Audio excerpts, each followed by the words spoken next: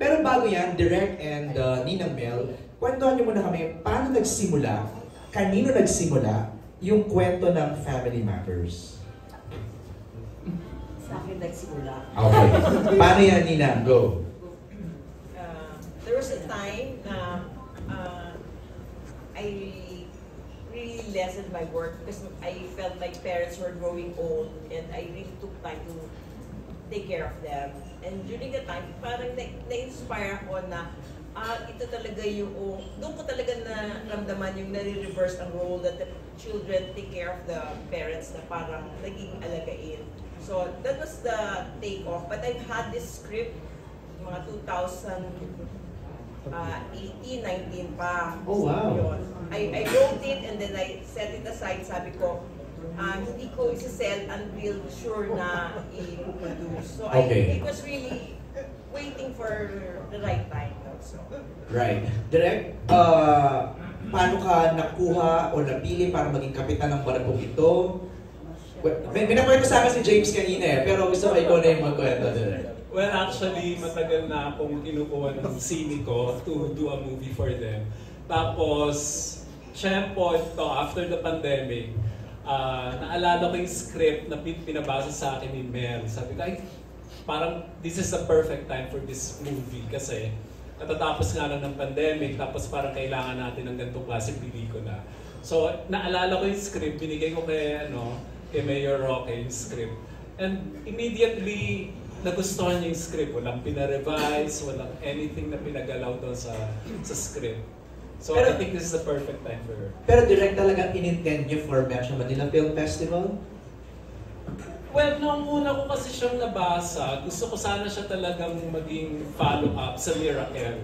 Okay. Kasi family movie, di ba? Yung Miracle kasi, di ba, ah, father and daughter. So That's right. ngayon naman, sabi ko, gusto ko buong pamilya naman. Right. Oo. So kaya lang, nagka-pandemic, hindi natuloy, di ba? So na na-hold yung project hanggang sa, eto, ito na yung tingin ko, tamang-tamang panahon para dito. Everyone's returned to the cinemas. And speaking of family, isa-isahin na natin. Uh, let's ask the cast for their roles. Ano yung kanilang papel sa pelikulang ito? Pang-ilan silang anak? Anong klaseng anak? Let's start with Ian. Uh, my name in the film is Francis at ako po ang panganay na apo. Yeah. Panganay na apo. Okay, got it. Ah, ako naman po si Nelson, nasama po dito si Fortune, na si Fortune na si Mylene Dizon. Alright. Sorry. Ako si ah, Enrico. Ah, ako yung bunso sa magkakapatid. Ako yung uh, tinaguri ang ah, inside joke as a menopause baby. Oh. So, yeah, may, may ganun kaming running joke. Mamaya explain ko. Okay. Uh, Nikki? Ako po si Ellen. Ako po si Ellen. Ako yung third child. Ah, ako yung feeling ko favorite ako ng parents ko. Okay. Oo, kasi close na close ako kay Tita Liza sa story. Alright. Yeah. Mylene? I play Fortune. Ako yung panganay na daughter. Uh, my role here para ako yung masyado kasing seryoso yung kuya ko dito, played by Noni Bigcamino, si Kiko. Um, so medyo ako yung icebreaker ng konti para hindi masyadong seryoso. Um, yeah, I play also the wife of Yolo, James. Yolo. Ako Yolo. Oo, Yolo. Of James Blanco. Alright. Agot? Um, I play Odette. Ako yung asawa, in-law ko. Ah, asawa ko si Kiko, played by Noni Buenicamino. Tapos siguro ah, ako yung nagte-temper kay Noni kasi medyo very, ah, masyado niyang tinitake ah, seriously yung kanyang pagkapanganay. Mm. So may feeling niya na kailangan siya yung bumubuo, siya yung nag-lead, siya yung, Right. alam mo yun, yung panganay syndrome. So ako yung medyo nagte-temper to go in between pag may mga ah, ah, ano yung problema. Right. Ang mga parents naman po. Parentals. Ang ah, pangalan ko po sa, sa, sa movie, eh, Francisco. Ako po ang padre de familia na ang concern ko ay magka, magkais, mag, magkaisa ang pamilya ma-overcome kung ano ang mga problema ng mga pamilya, ma-overcome namin at mabuo ang pamilya in spite of all the problems. Alright. Tita?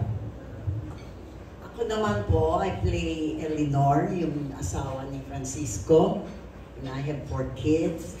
And uh, uh, the youngest stays with us. The, my, Ah, under the- uh, yeah, the third, yeah, the youngest girl. oo. Anyway, ah ang, ang nagiging parang konting problema lang ay itong asawa ko ayaw mag, magpaalaga sa iba, ayaw Okay. ng caregiver o ano, kailangan gusto niya ako lang. Okay. Na okay lang naman sa akin kasi mahal na mahal ko siya. But yung mga kids namin ang worried na baka, you know, ma- mahirapan kami. So, they borrowed us one by one na tinatakasan namin and all ganyan. Okay. So, because we were unhappy, we wanted to stay in our own house. Ganon. Ay, oh, ayun na. Pangalawa na yan, nagbibilang po sila, Tita Lorena. At Tita Lisa, nagbibilang, nagbibilang po lahat. Okay, so simulan na natin ang ating Q&A. We begin with uh, Tito Mario Bautista is here. Hello. Uh, first of all, congratulations pumasok kayo sa Film Fest. And since this is a family movie, I'm sure maraming manonood dito kasi Pasko and Christmas is about the families. Kay Lizzie, I'm very happy that you are playing a lead role again. I'm here. Ayun. Mario, I love you. Where are you? Ayun. Ayan. Walang Ayun. salamin ng lola. I miss you. Well, I'm so happy na lead role ulit ang ginagampanan Oo, mo. Kasi the first time you won a Best Actress Award was also in the Metro Manila Film Yes. Fest for Halimaw sa Banga. Yeah, yeah. Wow! From Mario Angara, that was 1986, I think. 86. Yeah. 86. And mm, I'm just wondering, ikaw ang pinaka-veterano dito, di ba? Since Kami. no. Ah, well, parang nauna rin siya, yung kung anuhin mo. Si Mama, nag-radio, nag-radio ka pa, ano, something, di ba? Yeah. You started. Mm-mm. But sa pelikula and all, parang mas Best ako. senior ka. But Noel is the real multimedia actor because he's in theater, he's Yes. on TV, he's in Yes, and I'm a fan, a big fan of Yeah. his. Sabi ko nga sa kanya, uh, we met first time, no? So sabi ko, never nakatrabaho si Noel. So, uh, thank God, uh, during this ano, uh, time, ma- m- nakasama ko pa rin siya in my lifetime. And uh, Hindi ka ba nag-guest sa considering? hindi, pero pinapanood ko yon And then I mentioned to him na pinapanood ko siya sa susunod na kabanata or something Mhm. with Yes. Yes. Tomas. That's when he believed me na, na pinapanood ko siya.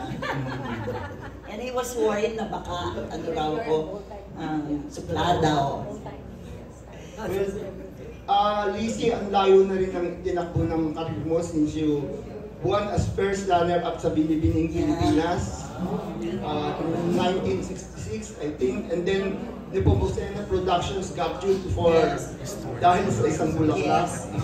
Mhm.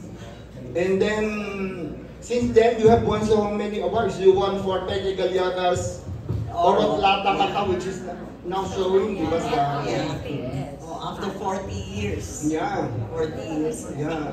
And uh, you worked with all the great directors of local cinema from Broca to Bernal, Mike De Leon for Sister Stella. I remember that. Mm. and Mario De Los Reyes for one of your best movies, Gabon with Chato, di ba? Yeah, yeah. Mm. Who played your mom in Fam... In Isang sa Bulaklak, Yeah, she was my mom. And then karibal ko na. Yes. oo. So, ang layo na talaga ng tinakbo ng karir mo. And now, uh, you're being directed by Noel Naval, um, uh, kabilang sa mga bagong sibol ng director ngayon. Di ba? I'm so lucky because I love Noel. Uh, So, how is it? Tell us about your experience working with Direct Noel. Ay, nako.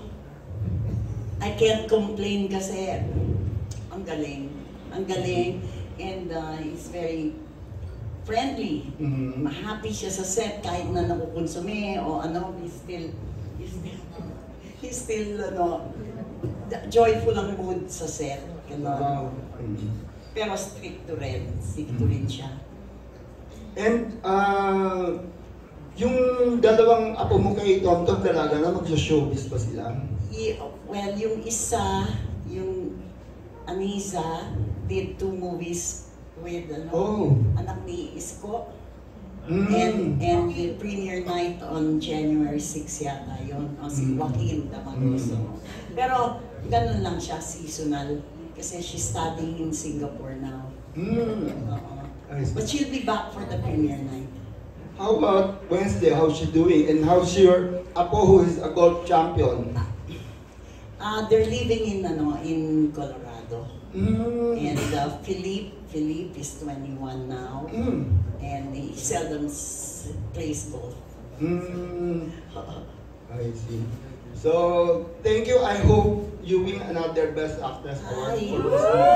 Yes! Sana in my lifetime, isa pa.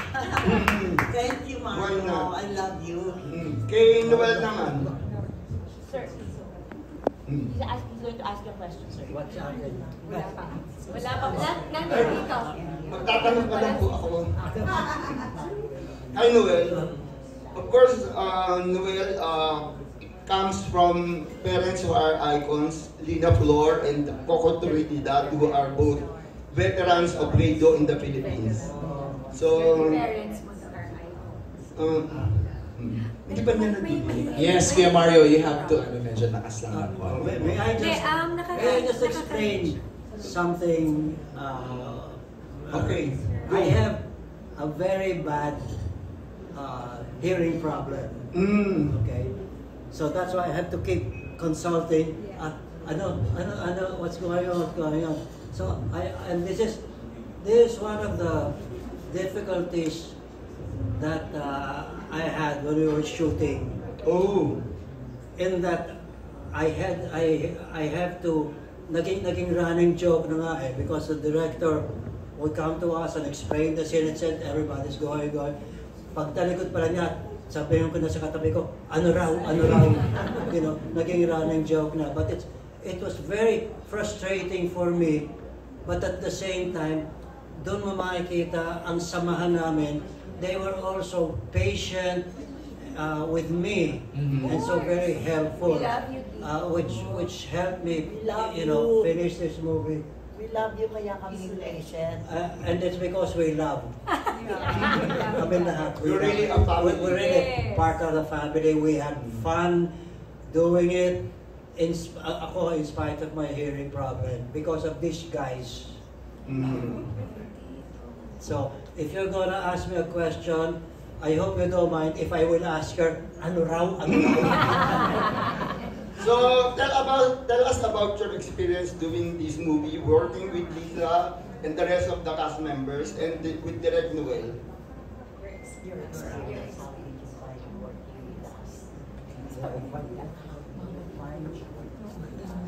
No, I, I don't know if I said it earlier.